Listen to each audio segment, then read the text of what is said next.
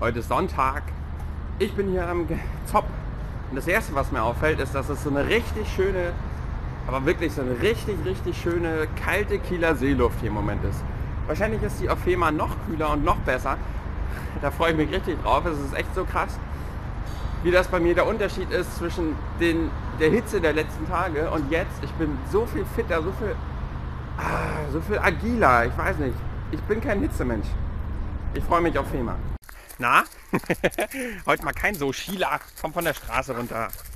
Äh, ja, ich bin gerade mit den beiden Hunden unterwegs. Mal ein Debüt für mich.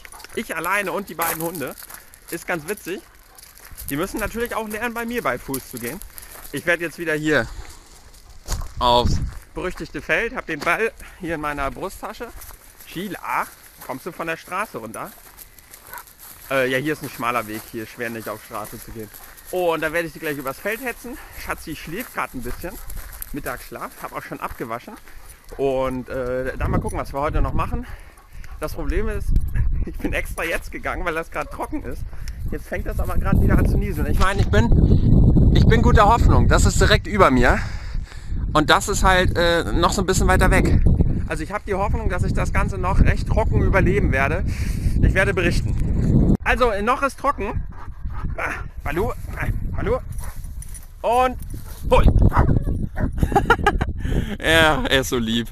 Er könnte den ganzen Tag spielen. Er will nichts anderes als spielen. Und Ball werfen. Mehr will er gar nicht. Dann ist er glücklich. Die Kackwolke hat mich eingeholt. Sie ist direkt über mir. Da vorne. Ja, gleich Balu. Ich komm gleich. Sie ist direkt über mir. Ich werde total nass werden. Ich werde nass werden, bis ich zu Hause bin. Ja, Balu, ich komm noch. Ich muss hin. Dieser Hund macht mich fertig, ne? Der steht da hinten und bellt. Balu! Er kommt nicht. Der steht da und bellt und will, dass ich werfe. Aber sonst kommt er immer. Und die ihn gesehen, wie er hochguckt.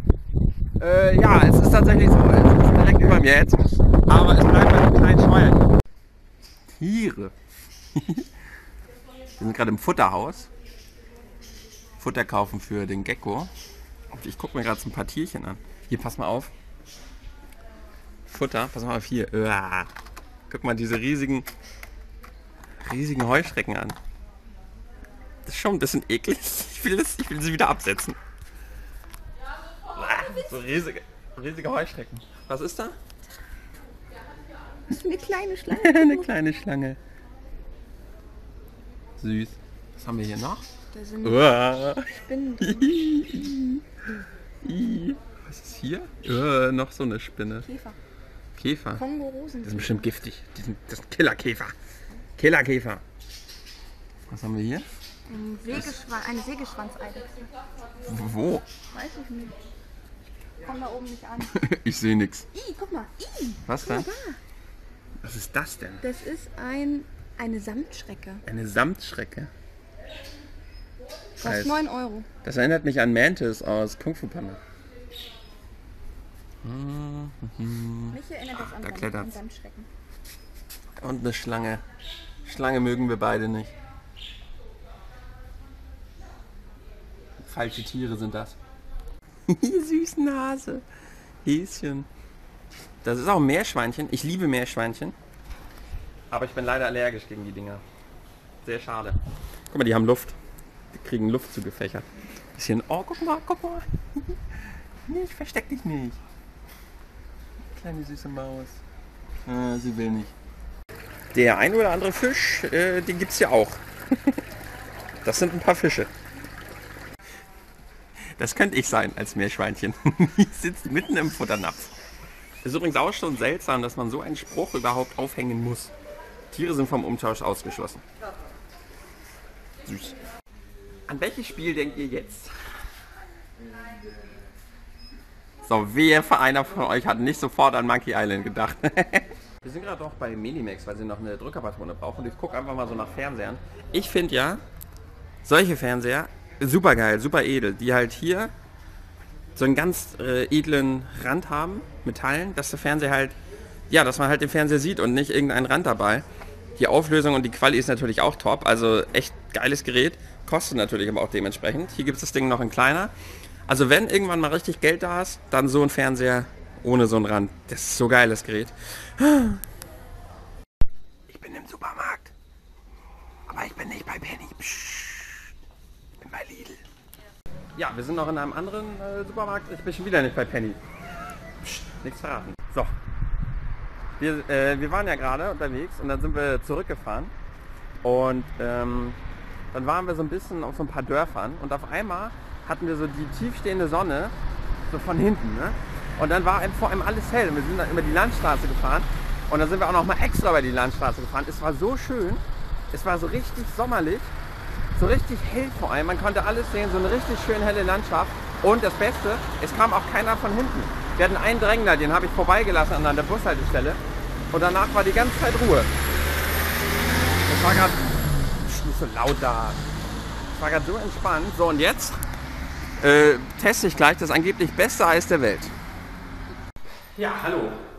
Äh, ihr seht richtig, ich bin schon wieder in Kiel. Und äh, das gefällt weder mir noch einer gewissen anderen Person. Bescheuerte Arbeitsumstände haben dazu geführt, dass ich wieder in Kiel bin. Eigentlich hatte ich heute und morgen frei.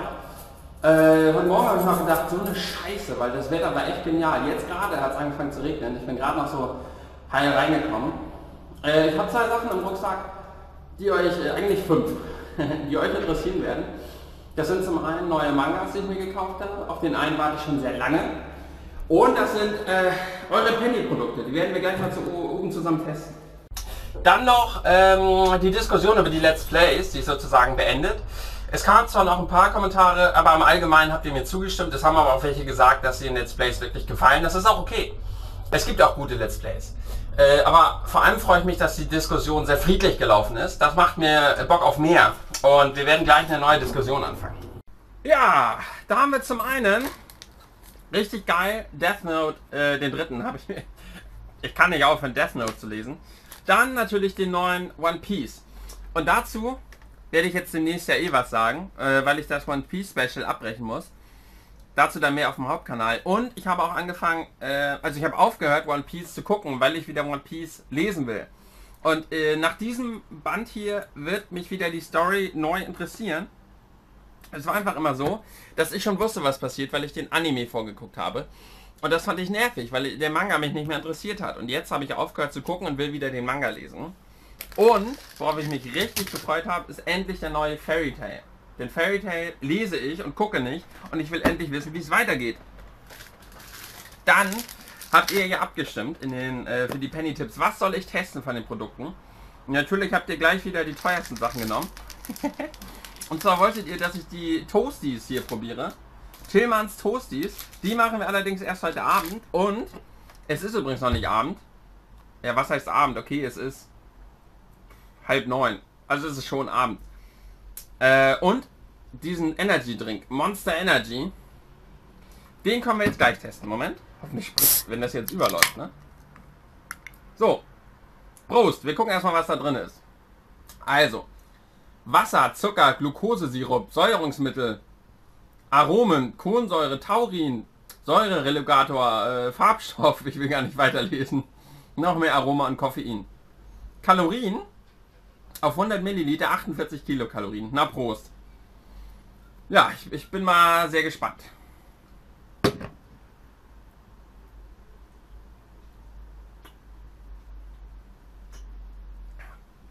Ach du Scheiße, ist das süß, Alter. Oh. Oh.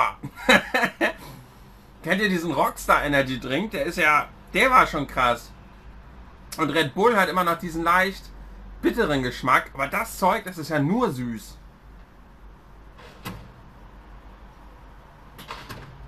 Oh, ist das süß. Was für ein Geschmack ist denn das? Guarana, Vit A plus B Vitamine. Ach du Scheiße. Warte mal, was steht da? Krall dir eine Dose Monster Energy. Das gewaltigste Energiepräparat auf diesem Planeten. Wir sind runter ins Labor und haben die zweifache Menge unseres Energy-Gebräus aufgekocht. Die dabei entstandene Killermischung kickt doppelt so gut wie andere 250 Milliliter Energy Drinks. Monster pusht dich mit der vollen Monster-Ladung. Hat aber einen feinen Geschmack und lässt sich ganz leicht runterschütten. Ne. Also wer auf total übertriebenen Süßstoff steht, für den ist Monster Energy was. Der ist so ähnlich wie dieser Rockstar Energy Drink. Also richtig süß. Wer Red Bull gewohnt ist, wie gesagt, Red Bull ist zwar auch süß, aber ist nicht so krass süß. Da ist, finde ich, ist, das hält sich noch in Grenzen. Der ist noch süßer als dieser Bullet Energy Drink oder dieser T1000. Also richtig süß. Auf jeden Fall nicht mein Fall. Ich werde die Dose leeren. Obwohl, weiß ich noch nicht. Dann kann ich die ganze Nacht ja nicht schlafen. Und wie gesagt, die Toasties, die mache ich mir nachher, wenn ich mein Essen mache.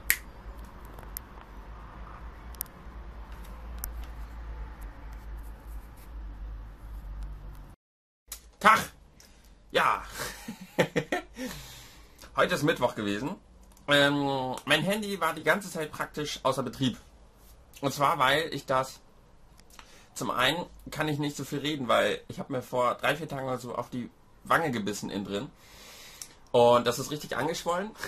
Und äh, ich habe mir da wohl richtig was kaputt gebissen. Heute hat das sogar geblutet, weil da ein bisschen was angeschwollen ist. Deshalb rede ich im Moment eh gerne nicht so gerne viel.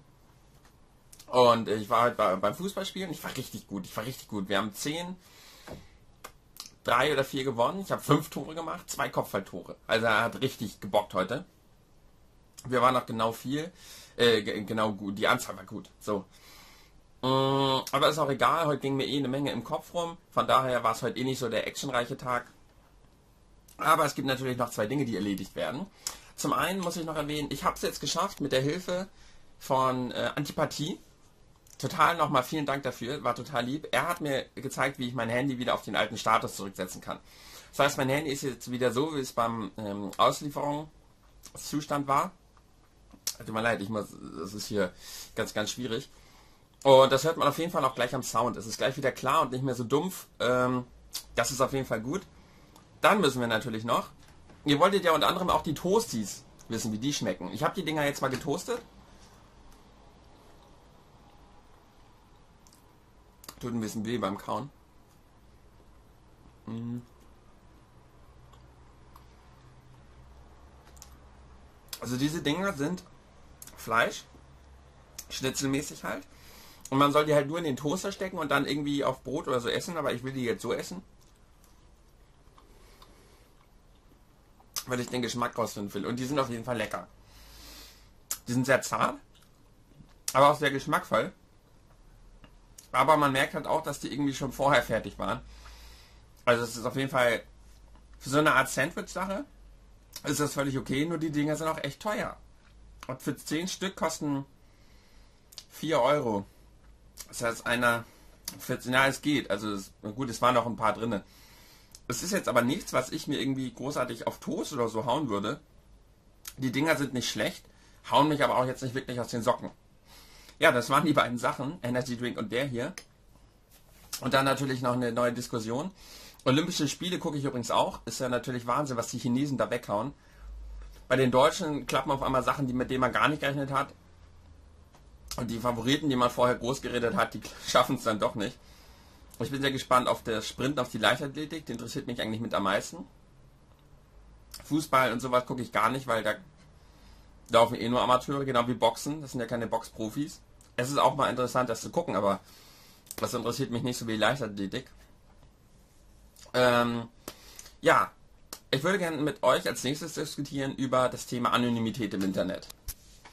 Und zwar ist ja gerade das Problem, auch gerade bei YouTubern und bei Hatern, dass die Leute sich anonym irgendwelche Accounts machen können und damit beleidigen können. Sie können damit unsachlich sein, sie müssen damit nicht vernünftig argumentieren, sie können beleidigen und was auch immer schreiben, was sie wollen. Sie können den Leuten einfach einen Daumen runter geben und die Leute flamen, weil niemand weiß, wer sie sind. Und die Leute benehmen sich so auch einfach anders. Auch Leute, die einen normalen Account haben, die reden einfach anders mit einem. Die stellen Forderungen, die werden gemein und beleidigend, weil sie halt diese Anonymität im Hintergrund haben, also im Rücken haben, als Rückendeckung. Und so werden ganz viele Leute, wenn sie sich jahrelang im Internet aufhalten, legen einfach ein anderes Verhalten an den Tag, als sie normalerweise im realen Leben sind. Und da würde ich gern mit euch drüber reden. Was sind dort eure Meinungen über diese Anonymität im Internet? Habt ihr da vielleicht auch schon mal Erfahrungen mitgemacht? Was haltet ihr davon? Und was denkt ihr, inwiefern beeinflusst die Anonymität, die man ja im Internet hat, das Verhalten in Foren und auf Plattformen wie zum Beispiel YouTube? So, ja, ich werde jetzt Schluss machen. Ich will nicht weiter reden. Ich werde das Ding hier noch zu Ende essen. Mm. Und dann würde ich sagen, sehen wir uns morgen am Donnerstag. Morgen habe ich aber leider nicht frei. Morgen muss ich arbeiten.